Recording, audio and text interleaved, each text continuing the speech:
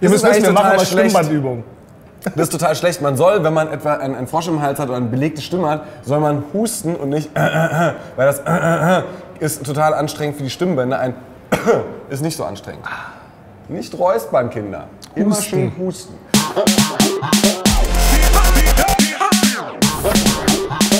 Hallo und herzlich willkommen zu Neu im Schuhkarton. Es ist wieder Freitag und äh, Team Spargel und Team Sucuk sind wieder für euch in der Foundry in Berlin am Start, um euch die neuen Schuhe zu präsentieren, die dieses Wochenende in den Laden kommen. Wow, was für ein langer Satz. Ähm, ich muss einfach nur, wo du Sujuk sagst, ihr müsst euch dieses Video angucken. Zurück in die Sujuk. Ja, es Der ist Hammer. das Beste. Achi Fatty Dre. McFly. Fatih McFly. Fatty McFly. Und Jokja anstatt Nokia. Echt gut. Yusuf, just call me on my Das cell phone. Ich wollte ja nur Hallo, weh. Der ist echt gut. Äh, bevor Ja. wir jetzt gänzlich abdriften, ähm, kommen wir nochmal zur letzten Sendung. Da haben wir euch äh, gefragt, in Ermangelung an Kenntnis, was Frauenschuhe betrifft, Ja. wie denn dieser neue Fenty Trainer bei euch, vor allem bei den Mädels, ankommt.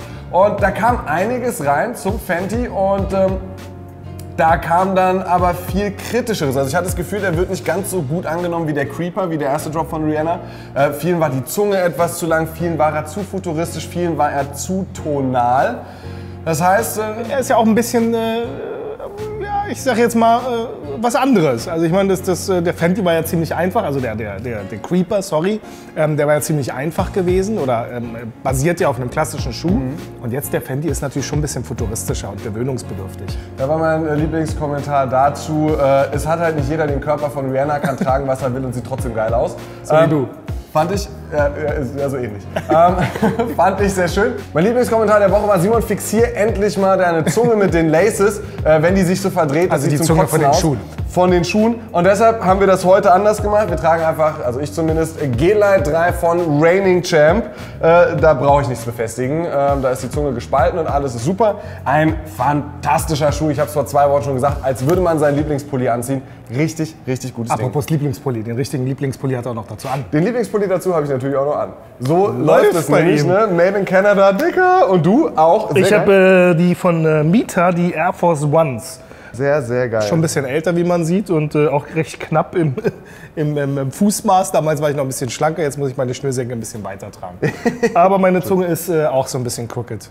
Ja, aber so gehört. Ich finde, ich finde, also so dieses. Das sieht nicht schön aus, wenn dieses äh, Fixierriemchen da mit eingelaced wird. Das ist so wie äh, Unterhosen bügeln.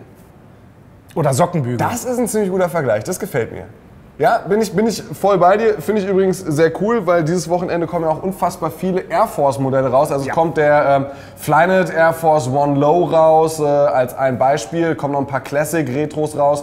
Ähm, würden wir euch gerne zeigen, genauso wie den Big Window Air Max 1, der diese Woche auch zurückgekommen ist. Machen wir aber nicht. Wir zeigen euch erstmal was ganz anderes. Hickman. Also den Air Max BW meint er. find Was das- hab ich gesagt? Big Ich- Window, nee, ist ja richtig. Äh, aber das, äh, viele kennen den halt gar nicht. Die wissen gar nicht, dass BW wahrscheinlich Big Window heißt. Ohne jetzt äh, Black White. zu wollen. Black White. Den finde ich übrigens geil, den BW. Bisschen prollig, aber geil. Ja, es ist, es ist aber das, das Schwierige ist da für mich, um jetzt einfach nochmal wirklich auch an der Stelle noch abzudriften, ähm, ich finde den BW extrem prollig, finde aber den silbernen Air Max 97 geil. Das ist sowas, so eine Schwierigkeit, wo ich mir sage, so, Also- okay, wo ziehe ich da eine Grenze? Ich kann sie selber nicht BW erkennen. ist so typisch Frankreich. Also es wäre so äh, Suburbs of äh, Paris. Und äh, der, der 97er ist so typisch Italien. Ja. Das ist so, wenn man so stereotypische Schuhe finden könnte, dann sind das die.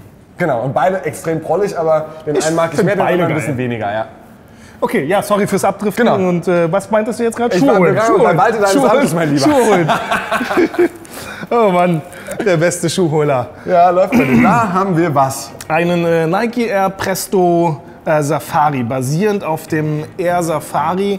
Ich glaube, einige Leute, die ein bisschen älter sind, kennen vielleicht noch Bismarcky, wie er die, die Dinge an den Füßen hat. 87 ist der originale Safari rausgekommen. Es gab ein paar Retros dazu.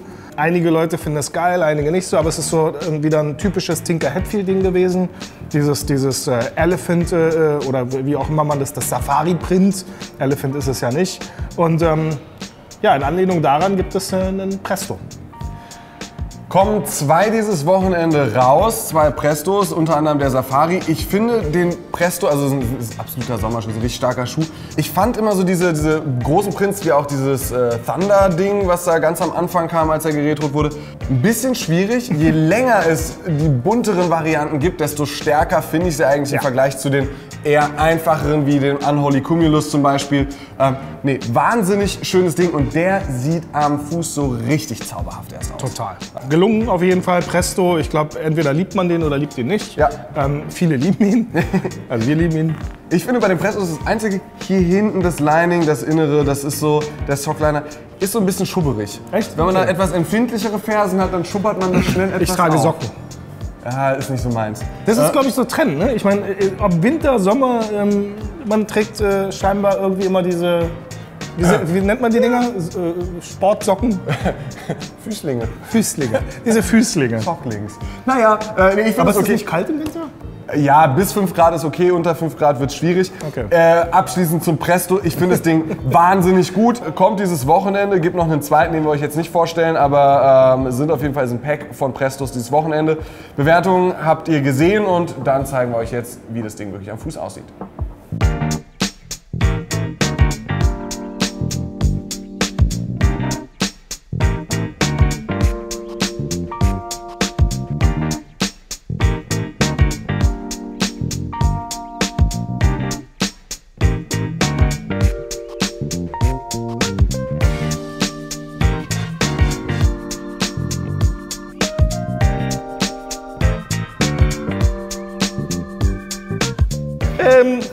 Das ist echt was Gutes hier. Finde ich gut. Ja, das ist äh, der Kangaroo Dynacoil Gamma Plus Six Stores. Six Stores heißt, es haben sechs Sneaker Stores aus Deutschland an diesem Schuh gemeinsam gearbeitet. Steht auf der zusätzlichen, ähm, wie heißt das nochmal, Memory Foam Innensohle, die man noch dazu bekommt, auch drin, welche das sind. Das sind Overkill, Asphalt Gold, A Few 43,5, The Goodwill Out und Super aus Stuttgart. Wer, wer sich fragt, in welcher Reihenfolge die jetzt gegliedert sind, guckt sich die zweite Sohle an. Da geht es nämlich alphabetisch nach den Städten. Sehr gut. Also, äh, ja, kriegt er selbst in Berlin, äh, Darmstadt, Düsseldorf, Fulda, Köln, Stuttgart.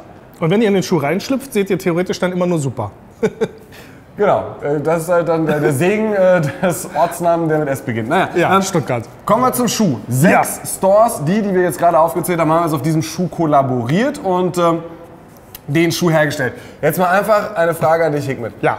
Wie schwer muss es wohl gewesen sein, als jemand, der weiß, wie man einen Schuh erstellt? Also alleine einen Schuh herstellen oder zumindest mit einer Firma zusammenzuarbeiten, kann schon echt schwierig sein. Jetzt aber noch sechs Stores und dann einen Hut zu bekommen und dann so ein gutes Produkt rauszubekommen, das ist echt unheimlich schwer. Also Props an Kangaroos, Props an die Stores. Ähm, scheinbar kommunizieren die Stores noch miteinander, also es ist alles gut gegangen. Ähm, das Produkt sieht super aus, echt gute Arbeit, Jungs. Gefällt mir auch sehr, sehr gut. Also zum Schuh kommt nicht nur diese Memory Foam Innensohle, sondern es kommen auch noch zwei, drei Paar Additional Laces. Ich finde einfach, also diese Rope Laces habe ich jetzt gerade einfach mal eingeschnitten. Mir gefallen auch die Flag Ja, Laces super. sehr gut. Eh, Mir gefällt aber dieses Grün. Dieser Grünton ist wirklich perfekt. Dazu halt ein Grau, ein weißes Mesh und äh, ich glaube zwei, drei schwarze Akzente noch drauf. Richtig zurückgenommen, Ja. wo man sich denkt, so, okay, hätte auch komplett überfrachtet werden können. Wenn Ja, man Marc hätte zum Beispiel den ich will Schuh in das- sechs ja, in sechs Teile. Teile und, und, Ich und, und er vorderen- sagt noch so, ich möchte es und auf einmal kommt noch einer mit Polkadots um die Ecke und dann hast du den Salat. Nee, finde ich richtig gut, auf was man sich da geeinigt hat und das Ding sieht granatenstark am Fuß auch aus. Es ist halt ähm, ein Leichtgewicht, muss man sagen. Der Schuh Ja. ist extrem leicht. Ähm, er ist dezent, er hat einen schönen grünen Farbstich, richtig gute Collab und wie du sagst eben, dass man mit sechs Stores äh, kollaboriert und sowas Gutes dabei rauskommt, ist nicht unbedingt das, was man erwartet. Nein. Der Schuh wurde letztes Wochenende schon mal auf der Collection vorgestellt, kommt jetzt dieses Wochenende in den Handel und äh, wie gesagt, zauberhafter Schuh, Bewertung seht ihr und den Preis blenden wir euch natürlich auch ein und dann gibt es On-Feed-Bilder mit dem Kangaroos Dynacoil Gamma Plus Six Stores.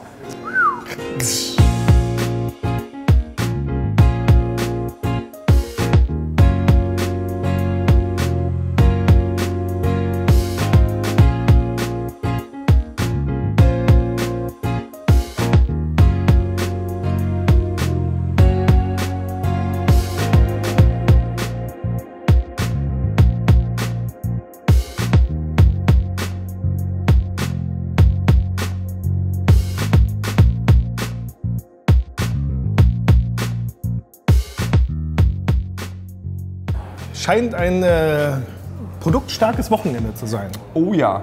Der hier kam äh, recht äh, spontan scheinbar, oder? Also keiner hatte das so richtig auf dem Radar, ob er nach Deutschland kommt oder nicht. Klott, äh, Grüße an Kevin, hat ähm, zwei Colorways gemacht. Wir haben jetzt leider nur den einen in der Hand, einmal den, den sandfarbenen und dann gibt es noch einen fliederfarbenen. Genau, Sand and Lavender heißt das Pack. Äh, einmal Lavendel- oder Fliederfarben und einmal eben Sandfarben. War äh, letztes Jahr im November, Dezember angekündigt, im Januar dann glaube ich auch bei Klott äh, verkauft, international und wie du sagtest, relativ spontan jetzt reinkommen, vor ein paar Tagen angekündigt. Und äh, wieder von Essex äh, zusammen mit Klott, ein zauberhafter Schuh, zauberhafter Kollabo. Wunderschön. Das Wildleder hier oben drauf. Ähm, Echt gute Materialien. gut an. Wildleder, innen drin dann auch noch mit Lederlining, selbst die Innensohle ist Leder. Das Gute ist, dass es halt so, auch noch die Farben so äh, cross, äh, wie sagt man, also äh, überkreuzt. Ähm, Lavender Innensohle, wahrscheinlich dann bei dem, da wir den anderen nicht haben, dann eine Sand äh, Innensohle bei dem anderen. Echt wunder, wunderschöner Schuh. Ich glaube, das ist so, so ein, auch so ein Konzept, wo du theoretisch auf der einen Seite die eine Farbe tragen könntest, also auch wenn ich das sonst schrecklich finde, aber ich glaube, das kommt bei denen ganz cool, weil sie halt so sozusagen die, die Themen ähm, sich, sich überschneiden. ne? Genau. Ja. Also das würde echt bei dem ganz gut passen, wenn du auf der einen Seite den Lavender trägst, auf den anderen der, den Sand. von den Materialien. Ich dachte im ersten Mal, als ich das gesehen habe, so, warte mal, sowas habe ich doch auch. Ähm, aber das ist halt einfach stark, das ist gut gemacht. Total, Gute sehr gut. Collab, schön, dass er dann tatsächlich noch gekommen ist. Und so, so simpel. Ne? Also ich meine, das ist so ähnlich wie jetzt bei Raining Champ. Ähm, man muss nicht immer irgendwie übertreiben, Ja. so mit Colorways. Es reicht auch was Tonales, was echt wirken kann, wo du nur durch die Sohle im Prinzip ein bisschen Farbe reinbringst und Premium-Materialien. Und Setzt ein schönes Ding, Detail und und das gut Ding ist sein, ne? geritzt. Sehe ich ganz genauso wie du. Bewertung blenden wir euch ein. Ein richtig zauberhaftes Pack, das äh, Sand and Lavender Pack von Clock zusammen mit Essex. Kommt dieses Wochenende in den Handel und äh, das sind die und Feedbilder dazu.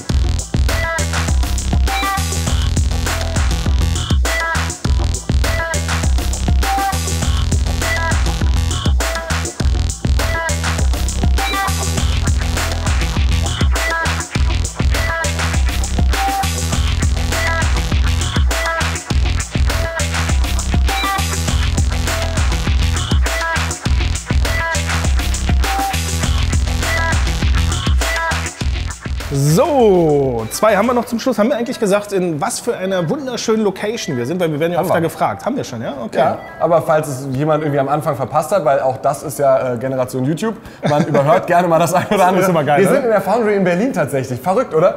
ähm, da sind wir und ähm, es ist so ein Wochenende, oftmals werden wir, naja, nicht kritisiert, aber einfach darauf angesprochen, sind denn wirklich alle Schuhe immer toll? Wir sagen Ja. immer toll, toll, toll. Ich fand den Presto toll, ich, Ich fand auch. Essex toll, ich fand Kangaroos toll und auch den finde ich toll. Und Das es tut uns einfach leid, wir picken uns dann aber auch immer so ein bisschen die Rosinen aus dem Kuchen raus. Deshalb ist es Ja, bei wir könnten natürlich so, jetzt auch äh, äh, gerade die Dinger nehmen, die wirklich gar nicht, gar nicht, gar nicht gehen. Aber sowas gibt es ja zum Glück auch selten, Ja. dieses gar nicht, gar nicht, gar nicht. Aber äh, Und bringt man es kann natürlich was? auch irgendwo rumstochern und immer was Negatives finden. Wir haben Genau. halt, wenn wir Jordans wieder reinholen, dann können wir. Nein, das war, das war so ein. So, Nein, also Ein mir. Ich finde gut. cool. Es kommt am heutigen Freitag nicht nur ein Air Mock Tech Fleece, sondern eben auch diese beiden ähm, Nike Sock Darts, auch mit einem Tech Fleece Upper. Tja, wie gesagt, die finden wir auch leider richtig gut. Der ist stark, der ist eine Granate, oder? Der ist dezent und der ist wirklich eine Granate. Ja, ja. Ich finde, Ich hätte ja auch gerne den Air Mock äh, irgendwie, also das, das ist ein Brett, versteht wahrscheinlich kaum jemand, ähm, so, so ein Schuh, deshalb haben wir ihn halt nicht vorgestellt, sondern halt die jetzt vorgestellt, weil die kennen ja schon so einige. Ähm, das Ding ist wirklich wunderschön. Ähm, Größe 9 übrigens, Größe 10, Nike, äh, falls ihr doch zuschauen solltet, ähm, ihr wisst wohin damit.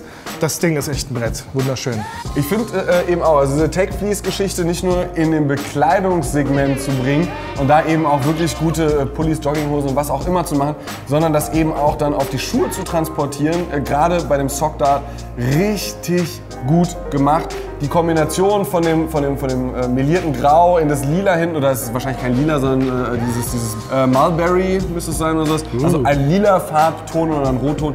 Echt schön. richtig, richtig schön, richtig stark. Mega bequeme Schuhe. Und äh, wenn wir schon dabei sind, also US 9, US 10, ich wiederhole nochmal, ähm, vielleicht kann uns einer eine Antwort geben. Ist das das M für Mark Parker? Hat Mark Parker den Sockdart gemacht?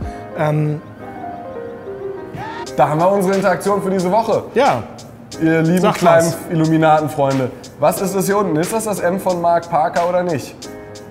dir, äh, Oder es ist ein Pre-HDM-Logo gewesen. Ein Pre Oder was passiert eigentlich, wenn man es umdreht? Ja, ist es ist dann ein W. Die Bewertung blenden wir euch ein. Ja. Das ist die Review zum Nike Air Sock Dart. Und ich äh, stelle mir schon vor, ich glaube vielleicht sogar, dass der schwarze noch besser aussieht bei dir am Fuß. Schwarz könnte, aber ich finde. Ja, wir sollten den zeigen, ne? Auf jeden Fall. Dann, ähm, äh, los jetzt.